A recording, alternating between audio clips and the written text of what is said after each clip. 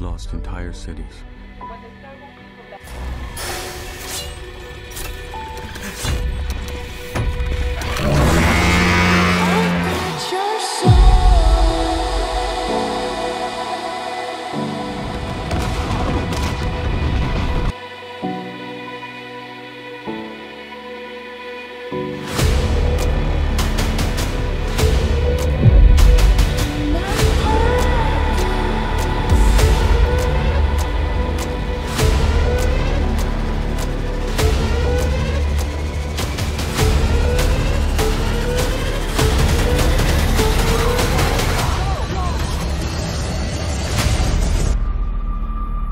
I Am Legend, directed by Francis Lawrence and released in 2007, stands as a defining moment in the post-apocalyptic sci-fi genre. Starring Will Smith as Dr. Robert Neville, it tells the story of the last man alive in desolate, virus-ravaged New York City.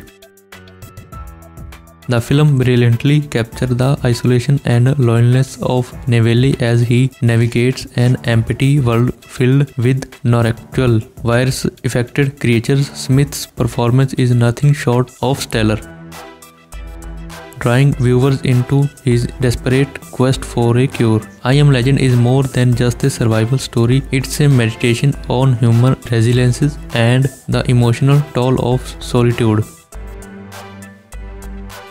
It explores theme of sacrifice, hope, and boundaries of science in the face of global catastrophe. With its stunning visual, intense action sequence, and hunting score, I Am Legend remain powerful and thought-provoking cinematic experience that lingers long after the credit roll. So now the next film is in this movie series titled I Am Legend 2 is also being made on a large budget.